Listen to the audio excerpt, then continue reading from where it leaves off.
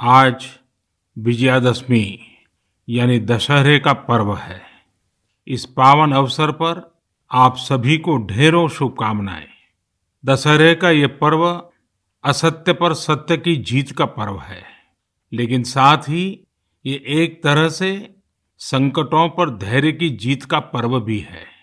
आज आप सभी बहुत संयम के साथ जी रहे हैं, मर्यादा में रहकर पर्व त्योहार मना रहे हैं, इसलिए जो लड़ाई हम लड़ रहे हैं, उसमें जीत भी सुनिश्चित है।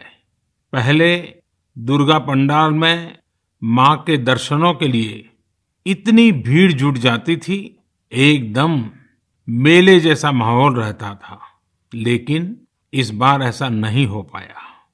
पहले दशहरे पर भी बड़े बड़े मेले लगते थे लेकिन इस बार उनका स्वरूप भी अलग ही है। रामलीला का त्योहार भी, उसका बहुत बड़ा आकर्षण था, लेकिन उसमें भी कुछ न कुछ पाबंदियाँ लगी है। पहले नवरात्र पर गुजरात के गरबा की गूंज हर तरफ़ छाई रहती थी। इस बार बड़े बड़े आयोजन सब बंद है। अभी आगे और भी कई पर्व आने वाले हैं।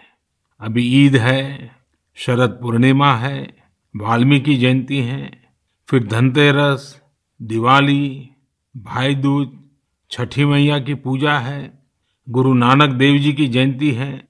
कोरोना के संकट काल में हमें संयम से ही काम लेना है, मर्यादा में ही रहना है।